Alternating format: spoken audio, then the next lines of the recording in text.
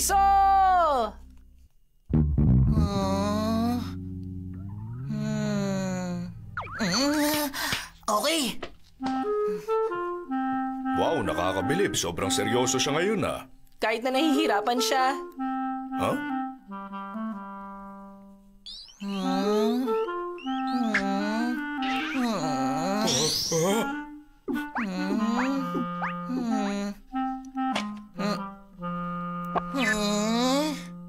Nawala na kaagad siya ng gana? Mukhang tama kayo, Papa.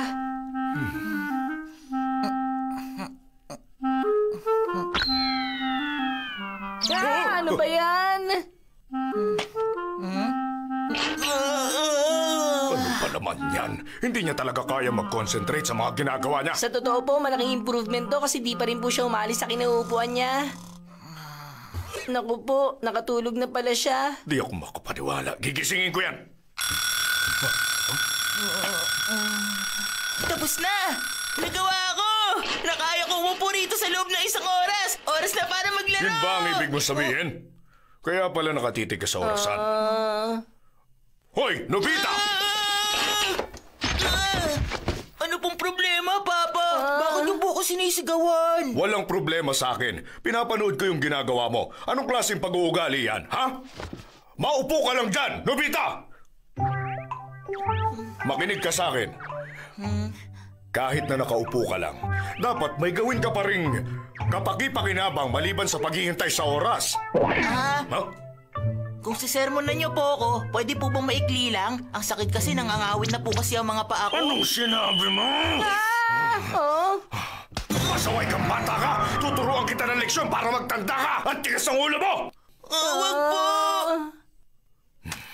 Nobita, hindi mo pa nararanasan ang mga bagay na masakit, mahirap at yung mga ayaw mo. Naiiwasan mo ang mahalagang leksyon sa buhay. At wala ka man lang natututunan. tama po kayo. Doraemon! Para kang tubig na tumataloy. Pababa lang ang agos, hindi man lang tumataas o umakyat. Ganyan po talaga siya. Balang araw, malalaman mo na mali ang ginagawa mo. Magugulat ka kasi ang buhay mo nasa pinakamababang antas. Tama po kayo, tama kayo, Papa. Kayong dalawa, grabe naman po kayo sa akin. Hindi kami nakikipagbiruan sa'yo, Nobita! Makinig kang mabuti. May magiting ang nakapagsabi noon. Ang buhay ay parang isang laban na sumasalungat sa agos ng tubig. May isa pang nakapagsabi na ang buhay ay isang proseso na sumasalungat sa lipad ng hangin. Mm, mm. Ganun ba? Oo naman! Alam mo ba na may isang tao na humiling sa buwan na lalo pa siyang bigyan ng mga pagsubok at paghihirap? Hindi ko po alam yun. Ang pangalan ng taong yun ay General Yamanaka. Sabi sa alamat, noong natalo siya sa laban, humiling siya sa buwan. Pakiusap, bigyan niyo pa ako ng mas maraming pagsubok at paghihirap. Ah, Ayon sa lumang kanta, kahanga-hanga ang ganong pag-iisip. Lumang kanta? ang lakas at tibay ng loob ay nahasa sa paghihirap. Talino't katawan ay nahasa sa kasipagan. Para kay Nobita, mahirap pong intindihin ng mga yan, Papa. Sundin mo na lang ang kanta na yan. Hayaan mong mahirapan ka at gawin ang mga bagay hanggang sa mapagod ka. Ibig sabihin, ibigay mo ang lahat ng makakaya mo sa mga ginagawa mo. May karugtong pa yan. Pagkatapos ng mga paghihirap mo, may magandang bunga ito. Dapat maintindihan mo yan. Sa tingin ko po, hindi niya naiintindihan. Ha? Huhulaan ko na lang. O sige. Ipapaliwanag ko pa sa iyo, Nobita. Dapat makaranas ng mga pagsubok ang mga kabataan para maging mahusay pagtanda. Naiintindihan mo? Yun lang pala eh. Noong unang panahon, seryoso at distrikto ang mga tao pagdating sa mga training nila. Kaya nga, tama yon.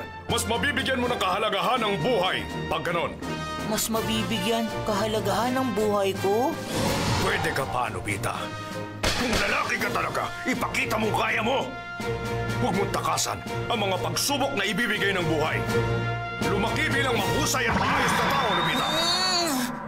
Papa! Papa! Nagising po ako sa lahat ng mga sinabi ninyo!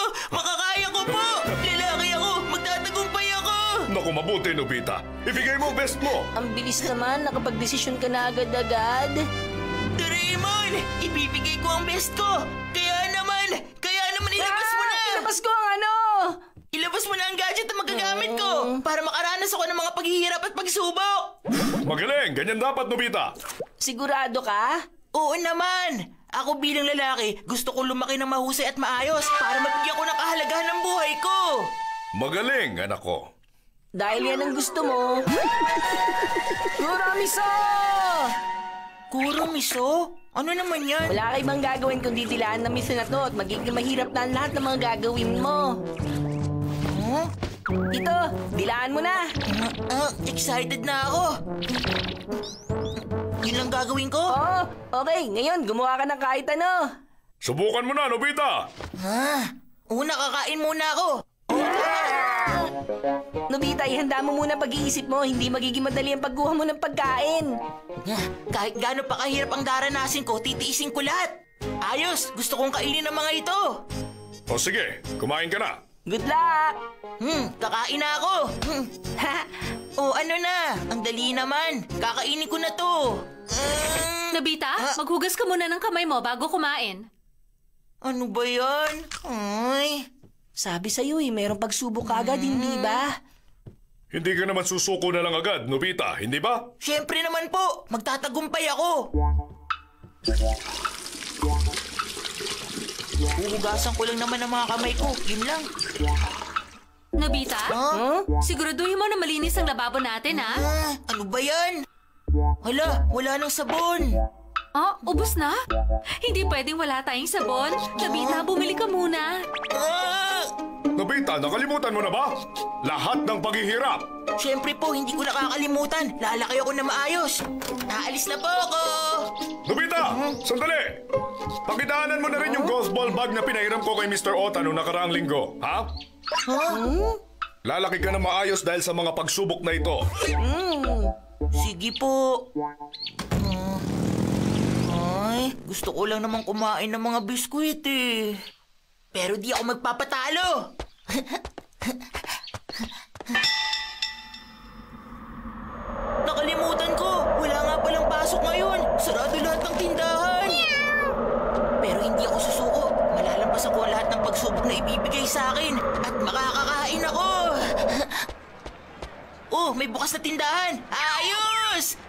Malalampasan ko to. Nakabili na ako ng sabon namin. Kukunin ko naman ngayon yung golf bag ni Papa. Pasensya na kung ikaw ang pumunta, Nobita. Sandali lang, ha? Ha? Huh? Oh, ito na ang golf bag. Ah, at itong menu na to, pasasalamat ko para sa papa mo. Ang bigat. Grabe na itong nangyayari sa akin. Ang buhay ay parang isang laban na sumasalungat sa agos ng tubig. Hindi lang yun. Ang buhay ay isang proseso na sumasalungat sa lipad ng hangin. Hindi ako magpapatalo. Lalaki ako na maayos. Hindi ako magpapatalo. Lalaki ako na maayos. Huh? um, Ang galing! Yan naman ako si Nobita! Tunay nga sa lalaki! Dahan-dahan lang sa pagkain, Nobita. O, kumusta? Mas masarap ang mga biskwit pagkatapos mong paghirapan, hindi ba? Oh, parang wala namang nagbago. Ah, ganun ba? Papa, sandali. Pwede po bang magtanong? Kailangan ko po ba talagang dumaan sa napakaraming pagsubok para lang makapagmerienda? Talaga naman ang patang ito. Wala pa rin siyang pinagbago. Eh di kung ganun po, Papa, bakit hindi niyo po subukan kumain ng miso? Baka magbago pang paniniwala niyo. Akin na nga! Ah! Wag! Tama na po yan, Papa! Gano'ng karaming pagsubok ba ang gusto niyong maranasan? Hindi takot ang papa mo sa kahit anong pagsubok. Hindi mabibili ng pera ang karanasan. Ayon yun sa kasabihan. Hindi sumisindi yung lighter ko. Naku, wala na rin tayong posporo. Ah! Eh, yung gas range kaya? Inaayos yung mga gas line, kaya hindi magamit. Ay, ganun ba? Papa, may sasabihin po sana ako. Sarado po ang mga tindahan ng sigarilyo ngayon. Okay lang. Pupunta ako sa coffee shop para bumili ng posporo. Ha? Ang lakas pala ng ulan ngayon. Hayaan mo na, ang lakas ng ulan. Huwag ka nang lumabas. Paano na yan? Hindi naman inigarilyo si Papa. Ano sinasabi mo dyan? Sinabi ko ng hindi, di ba? Hindi sumusuko mga lalaki!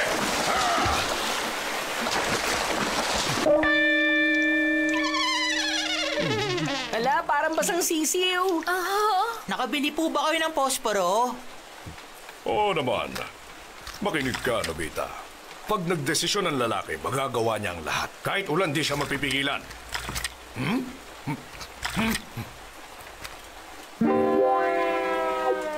Kainis! Hindi pa tapos ang pagsubok! Pahinga nga eto tawel! na. Bigyan mo pa ako ng pagsubok! Dapat maranasan nating lahat ang paghihirap. Kailangan niyo po ba talagang gawin to, Papa? Matigas talaga ang ulo ng mga tao. Oo naman, hindi ako magpapatalo, no? Di matutuloy ang pag-aayos sa gas line dahil sa ulan. Pwede mo nang gamitin ang gas range. Huh?